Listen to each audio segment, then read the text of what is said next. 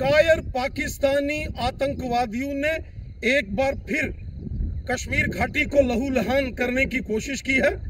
उत्तरी कश्मीर के सोपुर में पाकिस्तान के कायर आतंकवादियों ने छिपकर वार किया और भारतीय जनता पार्टी जम्मू कश्मीर की सचिव डॉक्टर फरीदा खान इस हमले में बुरी तरीके से घायल हुई है। वहीं एक काउंसलर नियाज अहमद और जम्मू कश्मीर पुलिस के बहादुर जवान मुश्ताक अहमद वीरगति को प्राप्त हुए हैं। पाकिस्तान कश्मीर को लहूलुहान करने की साजिश कर रहा है।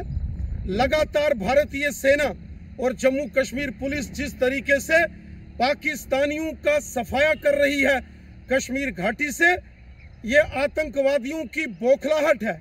आज कश्मीर घाटी से तमाम आतंकवादी कमांडरों का सफाया हो चुका है। और ये छुटपुट घटनाएँ रात के अंधेरे में छिपकर वार करना, छिपकर पीठ पर वार करना, ग्रनेड हमला करना, ये पाकिस्तानियों की कायराना हरकत है। जिन आतंकवादियों ने इस घटना को अंजाम दिया है, उनको मौत के घाट उतार दिया जाएगा। किसी भी दुस्साहस को करने वाले इन आतंकवादियों को बख्शा नहीं जाएगा।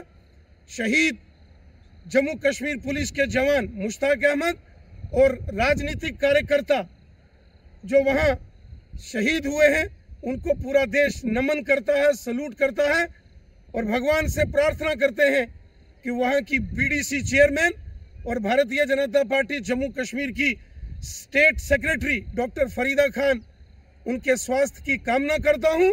वहीं ये विश्वास दिलाता हूँ कि चुन चुन कर कश्मीर घाटी से इन पाकिस्तानी आतंकवादियों का सफाया करेंगे। ये पाकिस्तानी आतंकवादी, ये मौत के सौदागर हैं। इन मौत के सौदागरों का गिन गिन कर हिसाब लेंगे और चुन चुन कर इनका कश्मीर घाटी से सफाया करेंगे।